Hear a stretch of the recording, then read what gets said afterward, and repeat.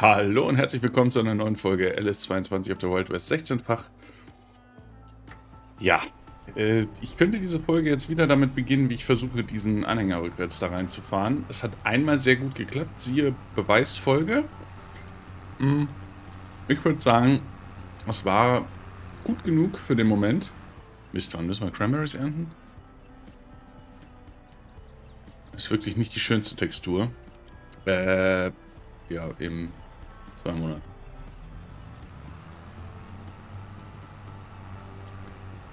Also in drei. Fünf von sechs, sechs von sechs.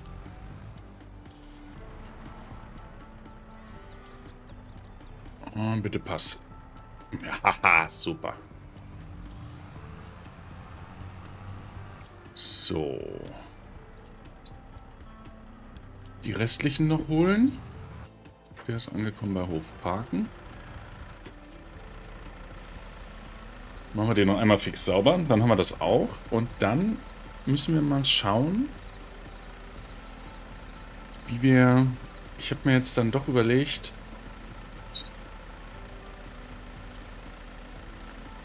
Ah, wir müssen mal, wir müssen mal ein bisschen Holz verkaufen. Ich, ich glaube, da müssen wir in der Folge mal durch. Ein bisschen Holz aufladen. Wir brauchen Kohle.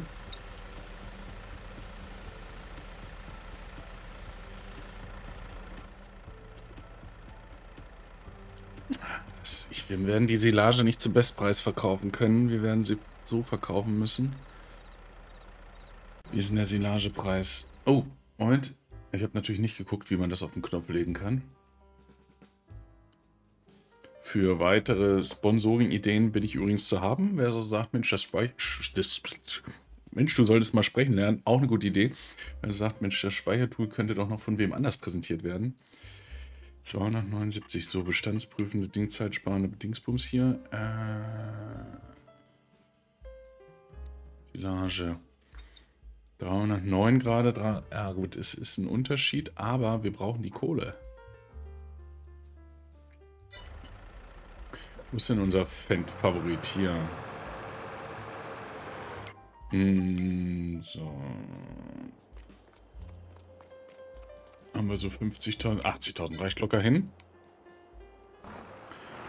Dann fährst du das bitte zur Ravenwood Farm und verkaufst das mal ein bisschen. Wir brauchen Geld für den Rübenernter. Ich gehe nicht davon aus, dass jetzt...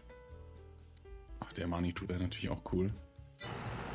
Dass jetzt ein Rübenernter plötzlich für einen äh, reduzierten Preis drin steht. Mieten dürfen wir nicht, Kredit nehmen dürfen wir nicht. Die Spritze könnten wir verkaufen. Was ist die noch wert? Na, immerhin 50.000. Wir könnten uns auch von irgendwas anderem trennen. Bin gerade so ein bisschen überfragt. Ich würde eigentlich gerne die Hoftankstelle setzen, aber... Ja. Keine Rüben ernten ist ja auch keine Lösung. So, Feuer frei. Ja, dich haben wir...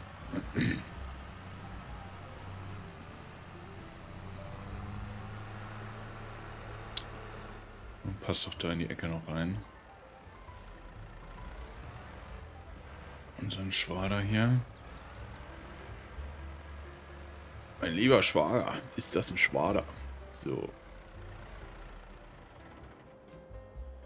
Mhm. Egal. So, du fährst... Ja, dann werden wir gleich mal gucken. Ich habe gerade in so ein Brötchen reingebissen mit Zucker. Jetzt ist das hier überall ganz zuckerig. Gut, was macht unser Drescher? Er ist am Dreschen. Er ist am Dreschen. Ich mache einen Screenshot. Ja. Ja, die Wege sind jetzt weiter. Vielleicht müssen wir hier auch noch einen zweiten installieren. Wenn der hier jedes Mal voll läuft, dann werden aus den zwei Stunden ganz schnell mal drei oder vier. Der, wir haben noch den Dings hier stehen. Du kannst helfen. Du bist kräftig genug. 150 PS. Du fährst zwar nur 40, aber Wenn du stehst, fährst du ja gar nicht. So langsam wird es hier so ein kleiner Hof. Das ist ganz cool. Also langsam mal ein bisschen so auf Details gehen. So. Äh. Nee, Moment. Gerstefeld und Produktion Mühle abliefern. Feuerfrei. Da haben wir da noch einen zweiten. Ich glaube, das macht Sinn. Die Wege sind irgendwie weit. Zumindest steht er hier die ganze Zeit nur rum. Ähm, mal gucken. Was ist denn das hier? Textausrichtung, Liste. Ich mach mal links. Ich glaube, das ist ein bisschen angenehmer zu lesen. Kann das sein? Da mal ein Feedback geben. Ich finde es ganz gut so. Gerade jetzt für den Moment zumindest. So, du verkaufst jetzt, ja, immer rechtzeitig hergejumpert. Mal gucken, ob es überhaupt geht. Das ist ja mit Ravenwood immer so eine Nummer. Da geht ja irgendwie nur die Hälfte.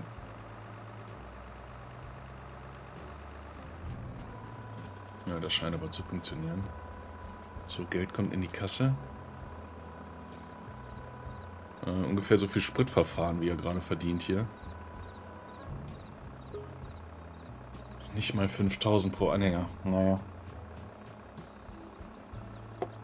Wir haben natürlich ganz ordentlich noch eingeladen. Also das wird ja dann nochmal zu 20%, nee 50% drauf. Also alles Stroh kriegen wir nicht weg. Das wären also 650.000 nochmal plus 300.000, die wir haben. Ja, das ist im Moment unsere Haupteinnahmequelle neben dem Holz. Und da müssen wir jetzt auch eben einmal hin. Wo ist er denn? Der Arian. Wir machen hier nochmal schön, dass wir die Fertigwände und so wegkriegen. Dann muss ich vielleicht auch nochmal ein paar Bäume fällen.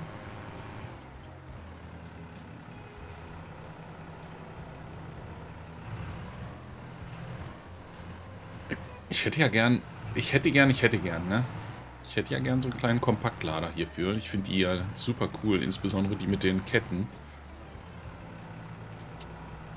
Ich sehe gar nichts.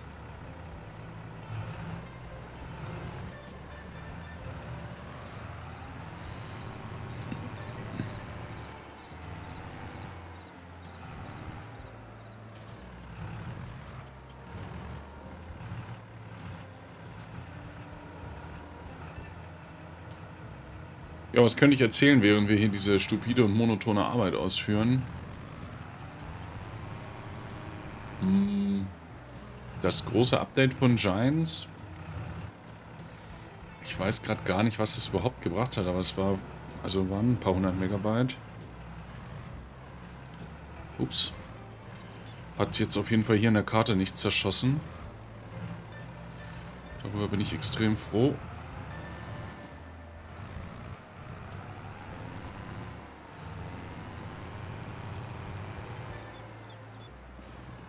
Das ist dann gerade für die Let's Plays immer super ärgerlich, wenn wir dann wieder jetzt wechseln müssen. Jetzt haben wir uns hier gerade mal so ein bisschen etabliert.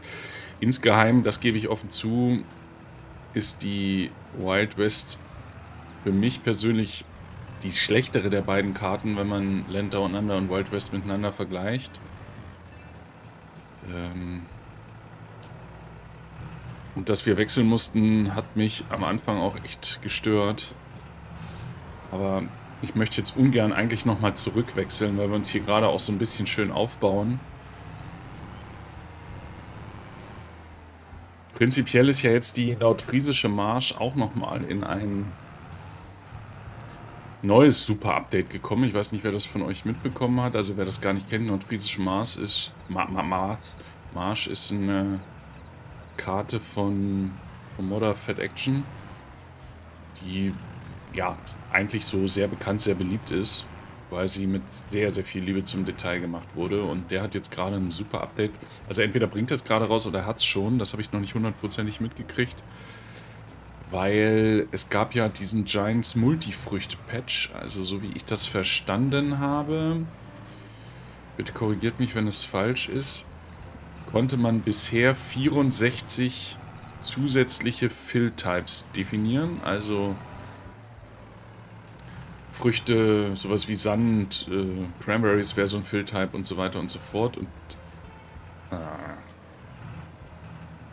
Und ähm, das wurde angehoben, das Limit, auf, ich meine, 256.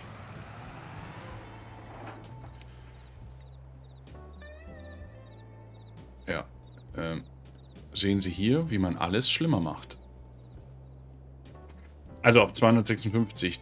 Das bedeutet im Endeffekt, dass man eigentlich einen neuen Spielstand lernen muss. Fett, das ist sehr, sehr, sehr detailliert erklärt, wie man umziehen kann und quasi nahezu alles, außer irgendwelche Früchte, die auf dem Boden liegen, also so, was weiß ich, ein Berg voller Stroh oder Heu oder Gras oder so, konnte man also mitnehmen. Nichtsdestotrotz, wir machen mal lieber die Spanngurte dran, Nichts, nichtsdestotrotz ähm, ist das natürlich immer so ein, ja, auch so ein Moment, um neu anzufangen. Ich habe tatsächlich, bitte nagelt mich nicht drauf fest, wir müssen zum Container, ne? Container verkauft, Zau drüber nachgedacht, ob man so ein zweites Let's Play anfängt auf der Marsch. Vielleicht unter anderen Bedingungen. Da kann man ja auf jeden Fall auch erstmal klein anfangen oder generell mit so einer Karte, wo man klein anfängt, wo wir vielleicht viel dann selber machen, vielleicht auch parallel streamen. Das könnte man sich ja mal überlegen. Aber so hundertprozentig, ja, also die Marsch ist schon echt cool. Ich meine, ich gehe davon aus, dass die meisten von euch die Marsch schon selber gespielt haben und dann sind die Let's Plays auch irgendwie vielleicht gar nicht so interessant. Aber ist halt eine sehr, sehr, sehr coole Karte. Eine ähm, Geschichte, warum ich mit der Karte angefangen habe, weil ich ja, weil ich dann am Ende mal zeigen möchte, wie man mit mehreren Dreschern auf diesen riesigen Feldern arbeitet und mit mehreren ähm, Points dazu zum Abfahren und so. Das, das werden wir hier auch machen können, dafür sind die Felder groß genug.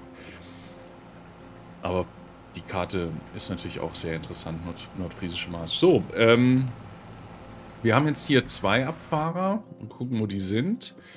Einmal der ZT, der steht hier an der Stelle und wir haben noch den Arion, der steht hier. Also die sind bereit. Der sollte hoffentlich nicht zu lange rumstehen, der Drescher. Hier wird entsprechend gestriegelt. Der ist gleich fertig. Du verkaufst. Du stehst hier rum, dich hatten wir schon. Du fährst Holz weg. Berechne Fahrt steht hier, also der... Ja, hier ist immer noch so viel drauf. Dann müssen wir hier düngen. Grubbern. Gucken, was ist denn der Feldstatus?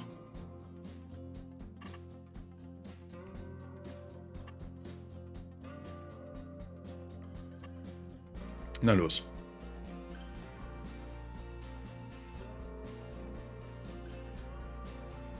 Okay. Zeigt jetzt gar nichts an. Muss gepflügt werden, zeigt dann nicht an. Gedüngt ist auch nicht, ist klar. Benötigt Kalk Gott sei Dank auch nicht. Ja. So, du holst den letzten.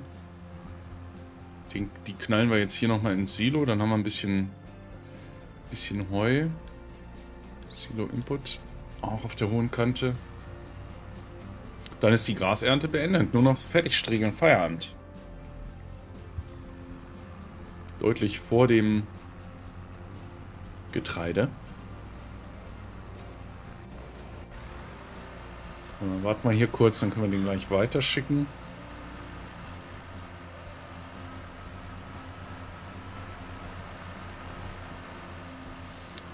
Gibt es eigentlich eine Mod, wo man mit Mausrad dann entsprechend ein bisschen zoomen kann? Ich würde hier manchmal gerne so ein bisschen an diese Hebel oder so mal ranzoomen. Das geht leider nicht. Würde ich cool finden.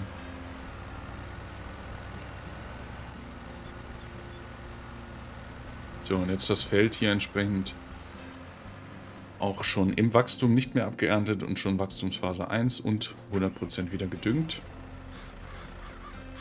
Lohnt sich also sehr zu striegeln, auch wenn es ähm, tatsächlich etwas ist, was man nur bedingt maximieren kann. Äh, also die Spritzen gibt es ja bis 40 Meter oder 36 oder sowas und die Striegel gibt es eben nur bis zu einer gewissen Breite und dann ist da Feierabend.